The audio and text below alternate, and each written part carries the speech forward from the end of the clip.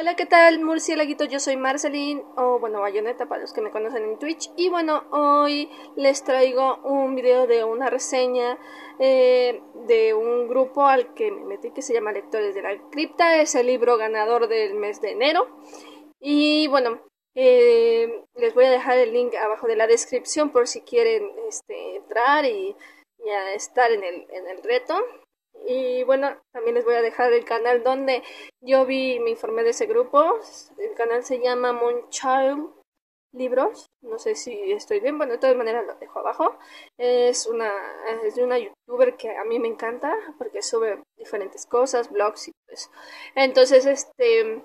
Y bueno, pues tocó en enero un clásico de terror que es El Exorcista de William Peter Blatty. Y bueno, eh, no sé si alguien no ha visto la película o el video, hay spoilers. Bueno, algunos, si es que se consideran spoilers, bueno, que luego hablo y no me doy cuenta que es un spoiler. Y, bueno, y en fin, pues bueno, eh, el libro es mucho, mucho, muy amplio. Es obvio porque los libros siempre van a ser más amplios que las películas y tienen más información que una película. La película suele cortar algunas escenas o modificarlas o X razones de los productores y directores de ahí. Y bueno, eh, yo no quiero decir que la, con esto la película del exorcista sea un fiasco o, es una película de terror clásica muy buena eh, creo es la mejor que hay en esos tiempos y se sigue considerando la mejor.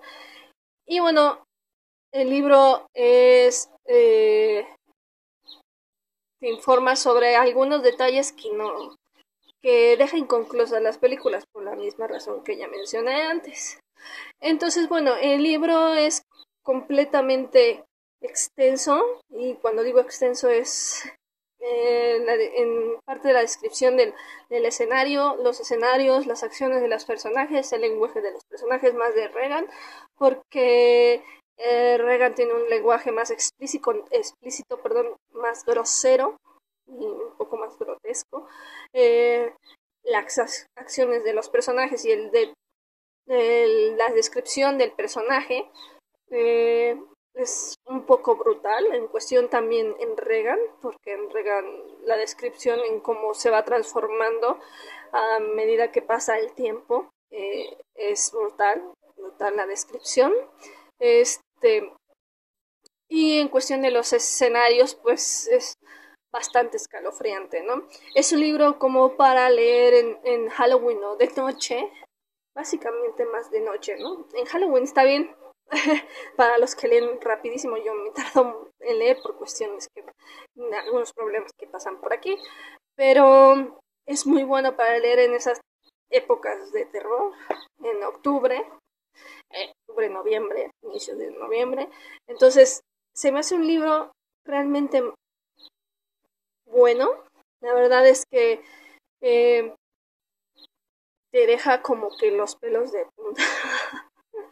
este, bueno, te, se te la piel en algunas partes. Es obvio que cuando tú ves primero la película y después lees el libro, pues bueno, vas leyendo el libro y tienes en la mente los personajes de la película y más Linda Blair haciendo la de, de Regan McNeil, ¿no? Entonces, no sé si se dice sí, pero bueno, yo sé que me van a entender. Y bueno, en cuestión de información, pues me gustó bastante porque te detalla muy bien lo que es la psicología y la religión, en base, bueno, la fe.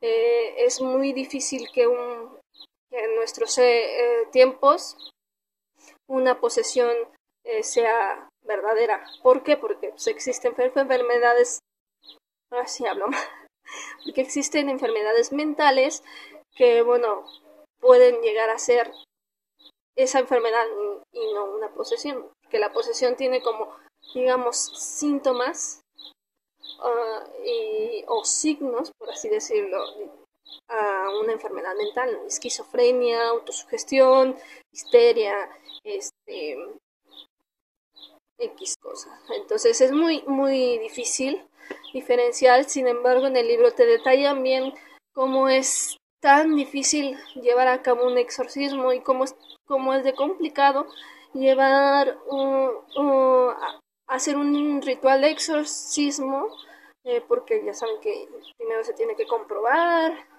descartar los hechos científicos, por así decirlo, y si ya no quedan más, más alternativas, llegar a la prueba y después enviarlo al Vaticano y que el Vaticano, o bueno, Roma, te, te autorice.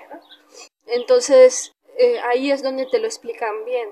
Eh, una parte, no sé si puede ser spoiler, es que puedes spoilerar él, sino es que, bueno, ya muchos vieron y se, seguramente ya se darán cuenta, es donde Regan em, le van a aventar agua y le dice el padre Carras que es agua común, ¿no? Agua corriente. Entonces el padre Carras le dice que es agua bendita y, y Regan se retuerce, ¿no? Y eso está mal porque un demonio debería de saber, por así decirlo, que no es, no es este, no es, no es agua bendita, ¿no? Entonces, este, pero aquí, aquí entra un juego muy importante también el demonio te echa, eh, digamos, que te eh, da una sugestión y te te da lo que tú quieres creer o lo, lo, que tú esperas ver.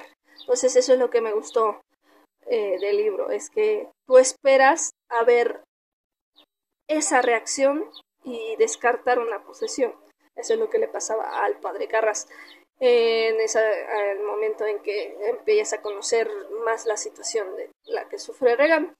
Bueno, ya al descartar los psicólogos y, bueno, los psiquiatras y médicos, entonces es lo que es lo que el demonio juega con la mente del, del padre en sí y no se da tanto la cuenta hasta que poco a poco ya va agarrando la, la idea de que eh, esos eso o sea las respuestas que da el demonio es lo que el padre quiere oír o ver y bueno, ya hasta que tiene la prueba final, eh, ya es pero bastante complicado, ya logran, logran este, acceder a, a hacer el exorcismo llamando al, padre, al famoso padre Merrin, ¿no? Entonces, y bueno, la, la, el libro consta de la introducción, la típica introducción del padre Merrin en, el desierto, no me acuerdo muy bien en qué lugar, pero es que se supone que él es arqueólogo, entonces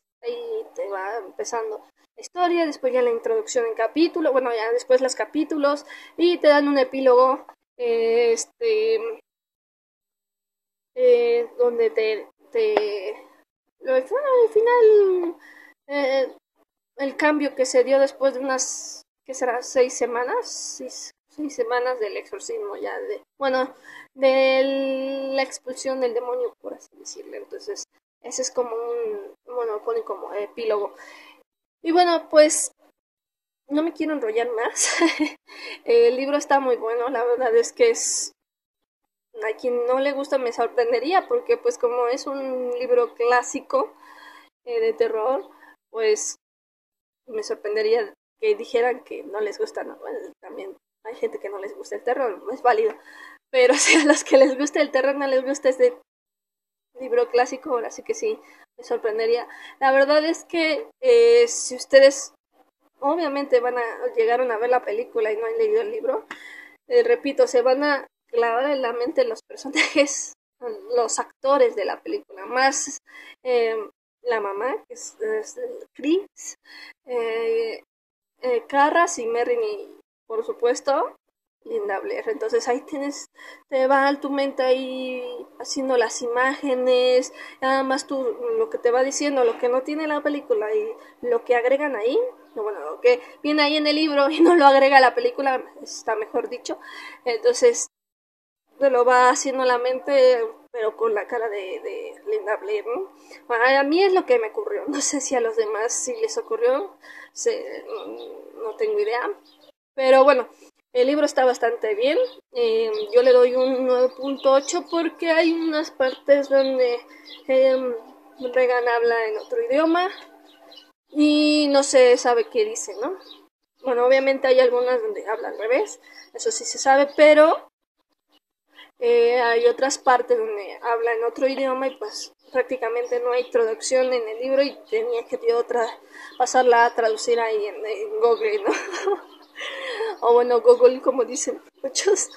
Entonces, este, eh, yo digo que no es así muy frustrante, pero sí me, me hubiera gustado, o a lo mejor está mal la traducción o la edición que yo adquirí no le faltó, no lo sé, desconozco, pero sí le faltó esa, esas traducciones y es que es importante porque estás teniendo una, una plática directa con el demonio, bueno, esa personalidad en ese entonces que según creía Carras.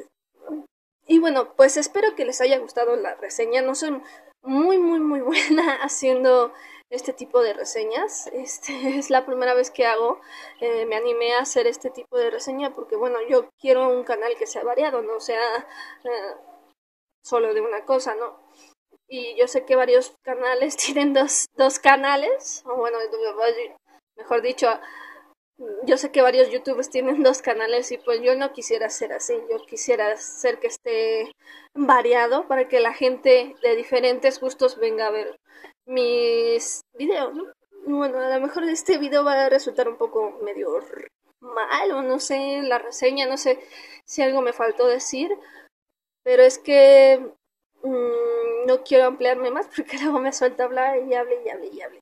Pero en sí te da las informaciones que si tuviste la película y te van a aclarar muchísimas, muchísimas cosas este, del por qué hay algunas cosas inconclusas. También pueden ver algunos detalles eh, curiosos eh, en las películas y también, también explican por qué algunas escenas no salieron, porque hay algunas escenas eliminadas también y unas escenas que no se llegaron a hacer por un fallecimiento de un personaje en la misma película. Entonces, pues, pero después también te, te agregan, en el, bueno, en el libro eh, está lo que debería de haber pasado en la película, ¿no? Entonces, y eso es fascinante, te da, te da mucha imaginación y, y la verdad es que este tres, meses. En cuanto al vocabulario de Reagan, repito, es muy, muy, muy grosera, bastante grosera. eh, yo creo que en la película se quedó corto, pero en el libro es bastante grosera y y es bueno porque se supone que tú esperas un libro que sea eh, bastante siniestro, tenebroso o terrorífico, mejor la palabra, para que, para que tenga, bueno, para que mejore el, el lenguaje así, lo logró, muy buen libro. Y pues nada, me despido yo, espero verlos en otro video, ya sea de algún otro videojuego o alguna otra reseña. Este, está todavía a ver qué libros se va a leer en febrero. Ahorita está eh, el tema de thriller policial y, ciencia ficción va ganando ciencia ficción. Espero que sea un libro que pueda yo adquirir porque se me dificulta mucho adquirir los libros. y bueno, pues nada, espero que les haya gustado de nuevo la, reseña. No soy muy buena haciendo las reseñas, me gustaría más todavía me falta soltarme más en los videos, pero es que a, veces como que no siento que si digo algo está mal o no sé, pero estoy tratando de hacer lo mejor posible para, para el canal y bueno, no se sorprendan del arbolito porque aquí es muy tradicional, porque luego a veces dicen, no, no, se quedan viendo acá, no, es muy tradicional que se levante, bueno, en sí la tradición es que se levante el arbolito después del día de la Candelaria. Ya después, después de, bueno, ya según la, la tradición de cada quien, pero aquí sí es así, hasta el día de la Candelaria es cuando se levanta el árbol. Algunos sí lugares serán lo mismo, a otros después porque ya pasaron las épocas, nada que ver. Pero bueno, de nuevo, ahí les dejo las redes sociales, les dejo el grupo donde estoy por si quieren entrar. Este, y les dejo el canal donde yo vi el grupo en el que estoy ahora, ¿vale? Y bueno, pues nada, eh, si es así, les, si les gustó, les, da, pueden dar un like. Y si no se han suscrito, pues suscribirse y no, no se olviden de darle, bueno, activar la campanita para que sepan cada vez cuanto subo un video, ¿vale? Y las redes sociales se las dejo abajo o al final de la des al final abajo o al final del video, es que la final de la descripción me hago bolas. Este y bueno, pues nada, nos vemos en otro próximo video. Yo soy Marceline o Bayoneta. Y bueno, nos vemos hasta la vista. Chao.